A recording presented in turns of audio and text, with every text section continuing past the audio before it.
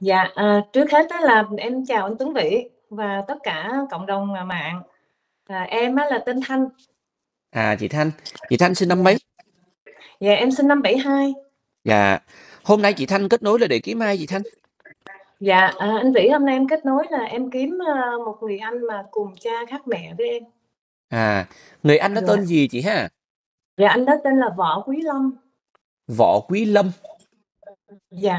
Dạ. Võ Quý Lâm là sinh năm mấy chị ha? Dạ, sinh ảnh sinh ngày, à, em coi dạ, ảnh sinh ngày 2 tháng 1 1969 anh. Ngày 2 tháng 1 năm 69. Dạ. Dạ. Rồi được sinh ra ở đâu chị ha? À, nơi sinh á thì, em hông có nghe ba nói nhưng mà ảnh là chắc có ở là ở, thị trấn Phú Lâm, huyện Hiếu Xương, tỉnh Phú Yên, thành phố Tuy Hòa bây giờ đó anh. À, Phú Yên. Dạ. Ở, à, thị trấn Phú Lâm, huyện Hiếu Xương, tỉnh Phú Yên, thành phố Tuy Hòa hiện tại bây giờ. Dạ. Vậy là cái Dạ. câu câu chuyện là trước đây ba đi lính ở ngoài đó hả chị? Rồi, à, Dạ, dạ, đúng rồi. mới quen với mẹ ảnh, mới sinh ra ảnh. Ừm. Dạ. Thì anh đó với chị, ờ, đây là cùng cha khác mẹ? Dạ, đúng rồi anh. À, rồi chị, ưm, chị có thể kể lại câu chuyện mà ba chị, ờ, chia sẻ được không? Để ngoài kia nghe thì có thể nhận diện ra dễ nhận Ôi, diện hơn á. dạ, dạ được anh, dạ được anh Vĩ. Thì, à, trong cái thời điểm mà, đâu khoảng mà trước năm 69 đó đó, thì giống như là tại vì ảnh sinh năm 69 trong khoảng thời gian đó thì ba em đi lính, ba em có quen với cô này, cô này tên là mẹ anh Lâm tên là Nguyễn Thị Nhị. Nguyễn Thị Nhị hả chị? Dạ, sinh năm 1947. Ừm. Dạ. Dạ.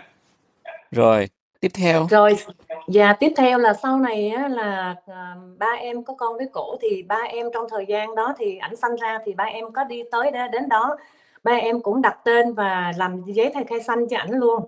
Dạ. À, ba Ừm. em tên là Võ Cận. Võ Cận. Dạ. Dạ.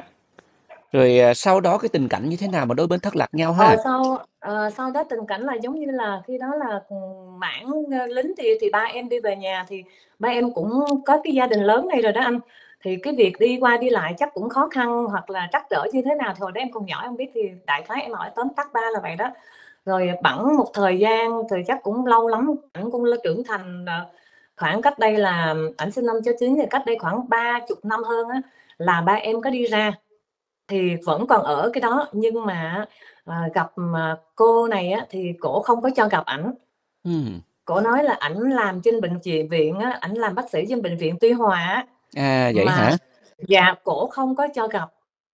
Dạ, rồi anh Vĩ biết sau này rồi ba em lại đi về khoảng một thời gian sau á thì có một người, à, à, anh em kết nghĩa với ba, đi ra ngoài đó tìm giùm cho ba, lúc đó ba cũng lớn tuổi mà ấy rồi đi ra tìm cho ba thì, à, tới đó thì chỉ còn bà ngoại thôi, bà ngoại của anh Lâm thôi và nói là anh Lâm á là đi qua nước ngoài là để học tu học thêm, ờ, nâng kiến thức gì đó.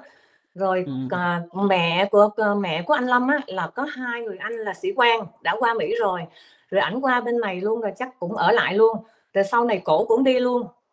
À. Dạ.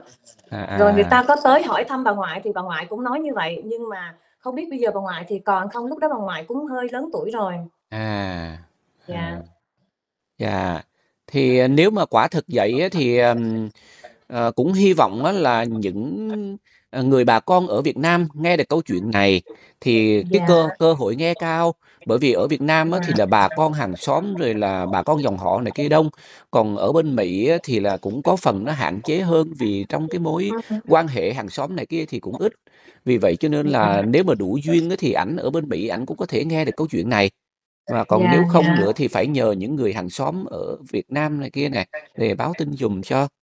Dạ, em cũng hy Ừm. vọng điều đó anh anh Vĩ. Dạ. dạ. Lúc nào cũng coi chương trình anh trình anh Vĩ hết á. Hồi nãy là nhắn tin á là cũng đang còn coi nhưng mà em đang suy nghĩ là hông biết là để hôm nay hay ngày mai. Tại Dạ. vì em nói nếu để em hỏi lại kỹ cho ba em á, thông tin rồi có gì á để mình lên cái mình chuẩn bị nói cho nó rõ ràng chi tiết hơn. Dạ. Thành ra Dạ. em hẹn anh Vĩ cho em thời gian kéo Dạ. dài tí xíu. Rồi, rồi để Tuấn Vĩ xin tóm tắt lại cái câu chuyện để cô chú, ơ, trên cộng đồng nghe để nắm rõ hơn. Dạ, Là, kê anh. ờ, hôm nay là chị Thanh lên để, a, kiếm một người anh cùng cha khác mẹ. tên là Dạ. Võ Quý Lâm, sinh ngày 2 Dạ. tháng 1 năm 1969.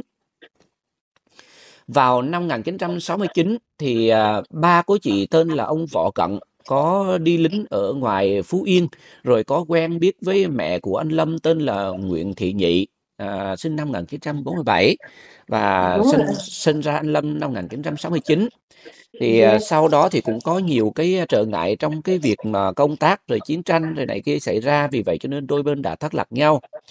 Và Dạ. sau đó nữa thì, à, ba của chị cũng như là gia đình đã tìm ra hỏi thăm thì, ờ, không gặp được ảnh nhưng mà có gặp bà ngoại. Thì nghe bà ngoại có chia sẻ rằng là là anh Lâm đã đi qua Mỹ và đi học thêm để bổ túc về bên cái việc mà công việc của ảnh. Dạ. Và sau này nữa hỏi thăm thì nghe nói là người mẹ, tức là cô, à, Nguyễn Thị Nhị cũng, ơ, có đi qua Mỹ với ảnh anh Lâm rồi. Dạ, đúng À, rồi anh. à, nhưng mà Dạ. trên thực tế thì cũng không biết như thế nào. Dạ. À. Rồi, rồi cờ bên bên của cô Nhị á là ba em có nhớ là có mấy người anh đều là sĩ quan hết đó, là là đi qua bên này hết rồi đó anh. À, dạ. Dạ. Dạ, vậy Dạ. thì, à, cái khả năng mà anh Lâm và cô Nhị đi qua Mỹ thì, ờ, cái khả năng cũng có cũng cao. Dạ, Dạ, dạ. dạ. Dạ, đó, dạ. Rồi thì bây giờ, ờ, chúng ta chỉ chờ vào cái cơ duyên xem thử là trong gia đình có ai nghe được câu chuyện này hay không, thì cũng mong phản hồi để rồi, ừm, cha con, ơ, có dịp đoàn tụ, rồi anh em để có cơ hội để đoàn tụ với nhau. Rồi, em cũng nhờ, chương trình của anh Vĩ với lại trên cộng đồng mạng, ờm, nếu mà có tin tức gì thì báo giùm cho anh Vĩ, là em chân thành cảm ơn và em xin hậu tạ 1.000. Dạ. Dạ. Rồi, ô kê chị, rồi có tin gì em báo cho chị hay nha. Dạ, dạ, em cảm ơn anh Dạ, Vĩ nhiều nha. dạ, Chúc anh Vĩ rồi. với cộng đồng mạng một ngày mới tốt lành nha. Dạ, ô kê chị. Bye Dạ, bye, dạ, bye em cảm ơn, bye anh Vĩ. Dạ, bye anh Vĩ. Dạ. Dạ. Rồi, trước tiên là anh cho em biết tên của anh ha. Dạ, em tên Trần Vũ Phúc anh. Dạ, anh Phúc là sinh năm mấy ạ? Dạ, 1980. Dạ, hôm nay là em, ơ, kết nối để kiếm ai? Dạ, kiếm, ơ, ba của em anh. Dạ, có biết tên và năm sinh của ba không? Dạ, em chỉ biết tên, còn năm sinh thì em hổng biết. Dạ, ba tên gì ha? Dạ, ba em tên Đàm Tô anh. Đàm Tô. Dạ, Dạ. và có biết quê quán của ba không? Dạ, ba em, ơ dạ, ở, ơ, hồi lúc trước thì ở cầu Mỹ Thuận, rồi sau này là dời nhà về Chợ Lớn á, về Sài Gòn bây giờ nên em hông biết luôn. Ừm, à, trước đây là có thời gian ở cầu Mỹ Thuận, ở Mỹ Thuận. Dạ, đúng rồi. Ừm, ừm. Dạ. À, và ở về hướng Tiền Giang hay là ở về hướng Cần Thơ em có biết không? Dạ, hướng hướng bên bên Vĩnh Long á, bên À. bên Cần Thơ, dạ, dạ. Rồi, hướng bên Vĩnh Long thì có thể là có thể là là ở Vĩnh Long. Ừm. Dạ. Rồi, vậy cái câu chuyện mà thất lạc, ừm, ba như thế nào, ờ, ờ, em kể cho anh nghe. Dạ, hồi hồi, ờ, nhỏ thì nói chung em hổng biết mặt ba em. Em chỉ, ờ, nghe mẹ mẹ kể lại. Dạ, là ba ba hồi nhỏ là có sinh em ra, cũng ba cũng có tới lui mấy lần. Rồi có, ờ, ông anh, ơ, ông anh hai á, cũng, một một mẹ mà khác cha. Rồi, kiểu mà, như là xa với ổng rồi ổng ổng giống ổng ổng hông hông tới lui với em nữa. Rồi vậy rồi ở bên bên ba Tô Đàm, ờ, Đàm Đàm Tô đó thì có, ờ, có biết là ông nội, bà nội hay là có các chú này kia, có ai tên gì có biết không? Dạ, không. À. Dạ. Chỉ ừm, chỉ chỉ biết tên của ông ờ, chỉ có biết tên của ba em là Đàm Tô thôi. Dạ, ba em là tài xế xe anh, à, biệt danh là ông Năm. Ừm. Chạy hướng, ơ, Mỹ Thuận với Chợ Lớn anh. Ừm. Dạ. Tài xế. Tài xế Tài xe xế, chạy, dạ. ờ, chạy Mỹ Thuận Chợ Lớn. Ừm. Dạ, hồi xưa đó, dạ. Ừm, rồi có thông tin gì thêm về ba nữa hông? Dạ, không, chỉ, ơ, Ừm. vậy thôi. Dạ, rồi còn mẹ của anh tên mẹ của em tên gì? Dạ, Trần Thị Bảy. À, Trần Thị Bảy. Ừm. Dạ. Vậy là bà Trần Thị Bảy với ông Tô Đàm là chỉ có một người con duy nhất là là em đây thôi ha? dạ ừ. dạ ba em là có ôm ba em cũng có vợ trước anh à có biết tên của vợ trước không dạ không cũng chỉ nghe là biết uh, có vợ có con vậy thôi nhưng mà em không biết tên rồi ok vậy thì uh, tóm lại câu chuyện là kiếm ông Tô Đàm trước đây làm nghề tài xế dạ đàm tô dạ đàm tô dạ. Ừ, ừ, dạ. đàm tô rồi dạ. uh, có thể là nhà nhà ổng thì ở uh, Vĩnh Long trước đây có thời gian ở Vĩnh Long rồi sau đó dạ. là đi lên ở trên Sài Gòn rồi mất liên lạc luôn dạ ừ. Và đương dạ. nhiên đó là ông Đàm Tô là biết có sự hiện diện của em đúng không biết là có một người con với bà Bảy đúng không dạ dạ dạ biết có xuống ừ. tới luôn mấy lần dạ ừ. Rồi ok, vậy rồi có ai uh, biết về ông uh, Đàm Tô thì có ai báo lại thì Tuấn Vị sẽ liên hệ với em nha. Dạ, còn ai mà biết thì uh, em xin gửi tiền xăng cho người ta là 10 triệu anh. Ừ. Rồi ok Dạ. nha, rồi có gì anh báo em, cho em nha. Dạ. Rồi rồi rồi. Vậy cảm ơn anh nha. Rồi, dạ ok, giờ cảm rồi. ơn anh uh, Ừ. tìm giúp giùm em. Dạ. Rồi ok, rồi chào em. Trước tiên là chú giới thiệu về chú cho con biết ha. Rồi, tôi ờ, tôi tên là Trần Văn Minh Dạ. là anh em họ với lại ờ, Nguyễn Thu Dung mà cái người mà cái cái em mà anh đang ờ, tìm ờ, ba của ờ, em đó cho em Thu Dung á Rồi rồi, Tuấn thưa Vĩ. chú, dạ thưa chú, à, nói vậy là ờ, không hiểu đâu để con hỏi tới đâu chú trả lời tới đó nó dễ hiểu hơn nha chú. Dạ. Dạ, Chú rồi. Minh, chú Minh hiện tại là ở tỉnh nào chú Minh?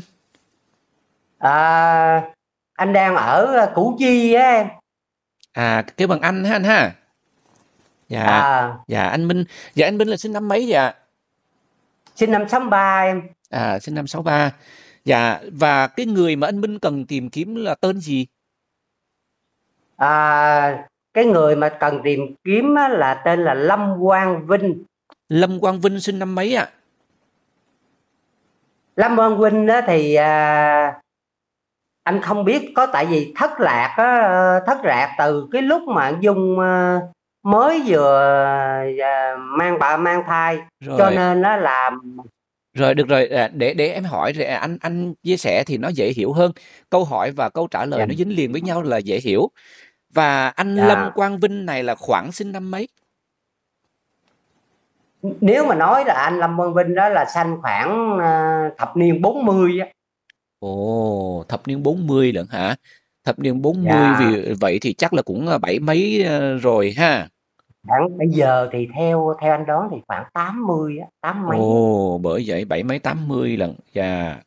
Ừm, vậy thì khoảng sinh khoảng sinh năm 1940 gì đó. Dạ.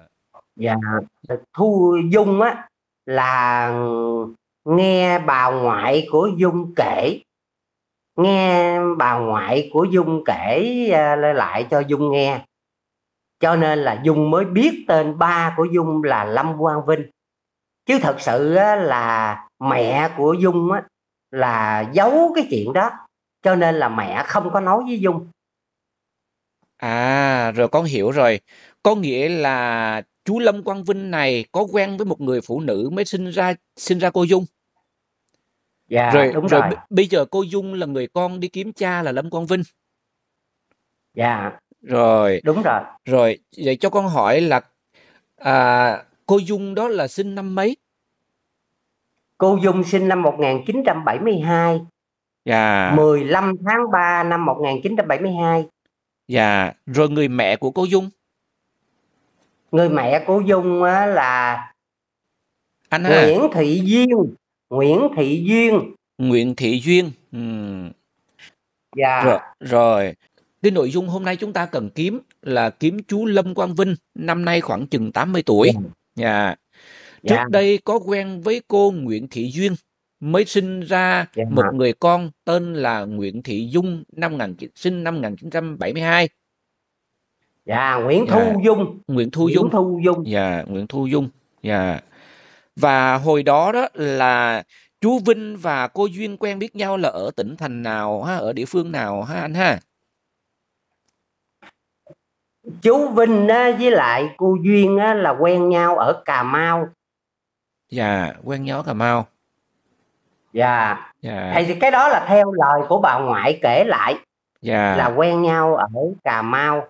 Tại vì lúc đó đó là cô Duyên á là làm làm nữ y tá của bệnh viện quân dân tỉnh Cà Mau. À làm y tá. Ừ. Làm y tá dạ. Rồi còn chú Vinh này là là lính hả? Chú Vinh đó là lính lính Dạ. nhảy dù. Lính nhảy dù. Đóng ở ờ, đóng ở phi trường Trà Nóc. Trà Nóc. Dạ. À, Trà Nóc Cần Thơ hả? Dạ dạ đúng rồi. Dạ. Rồi hai người quen nhau là quen nhau ở dưới Cà Mau. Rồi mới sinh ra cô Dung này năm 1972 dạ. Và có biết được 72. quê quán của chú Vinh không? Thu Dung á theo theo theo theo cái mình ở đây á là mình chỉ nghe lời kể thôi. Dạ. Thì chỉ biết á là quê quán của ờ, chú Lâm Vân Vinh á là ở Cà Mau. À quê quán ở Ở ở Cà Cà Mau. Mau. dạ. À, quê quán ở Cà Mau rồi mới đi lính ở sân bay Trà Nóc. Dạ. Dân bay Trà Nóc. Dạ. Dạ. Rồi bây giờ cô Duyên còn khỏe không ờ, anh hả cô Duyên á thì bây giờ á là bảy mươi mấy tuổi rồi vẫn ờ, À. còn khỏe. Dạ. Vẫn còn khỏe quý vị. Dạ dạ. Rồi ok anh em đã nắm được cái nội dung câu chuyện rồi thì cũng ờ, hy vọng là thân nhân của chú Lâm Quang Vinh có nghe được câu chuyện này thì thứ nhất là nhận diện ra cái tên của chú và độ tuổi của chú Dạ. thì thứ hai nữa đó Ừ. là trước đây chú có đi lính ở ờ, sân bay Trà Nóc Cần Thơ à, quê quán của chú Dạ. thì ờ, dường như là ở dưới Cà Mau à, thì đó là cái điểm để Dạ. nhận diện ra chú còn nếu mà gọi là người nhà đó thì ờ, có thể là nghe câu chuyện này thì ờ, ờ, cũng hy vọng rằng đó là là biết được cái tung tích của chú trước đây và sau khi mà quen biết với cô Duyên xong rồi là sinh ra cô Dung thì không biết là thời điểm sinh ra thì chú Vinh có biết được cái sự hiện diện của cô Dung này không ha? cái ờ, cái cái vấn đề này á là theo suy đoán của ờ, của anh với lại Thu Dung á thì ờ, anh nghĩ rằng chú Lâm Quang Vinh có biết á nhưng À. mà do cô Duyên không muốn cho Thu Dung gặp gặp cha. À, à, à, tại vì á có một cái điều này là quê quán của cô Duyên á là ở dưới Kinh Xê tỉnh Rạch Giá. Dạ, cho nên á là cô Duyên mới đưa Thu Dung lên Sài Gòn lên Sài Gòn và không để cho Thu Dung trở về dạch Rạch Giá. À, về Kinh Xê Rạch Giá. Dạ, thì thì anh nghĩ rằng chắc có lẽ là chú Lâm Quang Vinh biết sự hiện diện của Thu Dung dạ, biết có con, biết có con với cô Dạ. Duyên. Ừ, à, dạ, à đúng rồi dạ. Rồi vậy là chắc là chắc là đôi bên cũng mất liên lạc từ khoảng những năm 72 73 gì đó ha. Chú ha. dạ dạ đúng rồi Dạ, đúng rồi Dạ, mất liên lạc từ năm à, có nghĩa là khi Thu Dung Thu Dung kể theo lời bà ngoại kể lại đó là từ cái lúc mà sinh Thu Dung ra đó thì à, thì à, dường như là bên nhà ngoại của Thu Dung còn vẫn còn liên lạc dạ, nhưng mà khi mà Thu Dung lên tới 10 tuổi á, thì à, lúc đó là mới mới mới tịt hẳn cái liên lạc Dạ. Ừ, ừ. Rồi, ok anh. Em đã nắm được cái thông tin tin ờ, nội dung ờ, cơ bản. Thì bây giờ chúng ta sẽ chờ vào cái sự phản hồi của ờ, trên cộng đồng coi có ai biết được câu chuyện này không thì ờ, ờ, cộng đồng sẽ phản hồi lại rồi em sẽ báo cho anh biết. Dạ. cái à, à, Tuấn Vĩ cho tôi nói nói thêm một cái chi tiết nữa là theo theo lời kể của bà ngoại đó Dạ. thì hai người đã đã là đạo công giáo cho nên là đã đăng ký trên nhà thờ Ngọc Thạch Cần Ngọc Thạch giáo xứ Ngọc Thạch của À. Cần Thơ À, để mà làm lễ cưới dạ. nhưng mà không biết vì lý do gì đó thì à, mẹ của Thu Dung mới à, đi Sài Gòn bỏ hủy cái lễ cưới đó cho À. nên nó làm cho nên có một thời gian á, anh liên lạc với lại giáo sứ Ngọc Thạch để coi xem giáo sứ Ngọc Thạch nó có họ có giữ lại cái hồ sơ lưu đăng ký uh, hôn phối hay không. Dạ. Nhưng mà nhưng mà các cha ở đó đó là nói là không có không có lưu trữ không có lưu trữ dạ. Dạ. Dạ rồi ô, ô, ok anh. Rồi bây giờ chờ, chờ bên bên của chú Vinh lên tiếng hoặc là có ai biết rồi người ta lên tiếng đã rồi chúng ta sẽ tính tiếp những cái cái cái việc đó. Những cái việc mà kỷ dạ rồi niệm rồi cảm là ơn. những cái việc làm rồi này kia đó rồi chúng ta sẽ tính sau. Nha nha anh ha. Dạ. Dạ. Dạ cảm ơn tiến vị dạ. Tướng vĩ ờ, có một điều là tướng vĩ ờ, mong tướng vĩ giúp giùm là tại vì thu dung nó rất tha thiết ờ, được gặp ba nó. Dạ cho nên là tại vì á, nó lo đó là nó lo là tại vì ba đã già rồi. Dạ. Cho nên là thí dụ như nếu mà gặp lại là không biết còn có cơ hội để gặp lại hay không? Dạ không biết có có cơ hội cho để nên để rất gặp cha mong không? tướng vĩ dạ giúp. Dạ. À, tại vì rồi. người đã già rồi đó tướng vĩ dạ dạ. Rồi ô, ok anh em đã nắm được cái nội dung rồi. Rồi có ai lên tiếng thì em báo cho anh hay Dạ có vấn đề hậu tạ thì à, thì à, trước mắt á là là nếu mà ai báo tin được cái cái điều đó đó thì à, à, tụi tôi sẽ hậu tạ một ngàn đô la. Tại vì con Thu Dung Thu Dung bây giờ là đang ở bên Mỹ đó dạ. tướng vị dạ. Rồi ô, ok anh em đã nắm được rồi. Thì à, ai chuyển tải cũng được miễn là đầy đủ cái nội dung mà mà cái người cần tìm ừm, cái cái, cái có cái thông tin của người cần tìm là được. À, không sao cả. Dạ. Rồi còn nếu có hình của ừm, ờ, chị Dung á, thì là anh gửi qua cho em vài tấm hình của chị. À, hình của chị à, Dung. Rồi rồi rồi, dạ. rồi ok. Ok lát nữa lát nữa tôi dạ. tôi gửi cho dạ dạ. hình à, Thu Dung qua. Rồi. Dạ. Rồi ok vậy nhanh nha. Chúc sức khỏe anh là có nha nghĩa là hình mới nhất á hình mới nhất dạ. ha tướng vị. Dạ dạ dạ. Dạ cảm ơn. Cảm dạ ơn rất nhiều. Mong dạ. tướng vị giúp giùm dạ rồi bye bye em dạ. Dạ. Bye bye tướng dạ vị dạ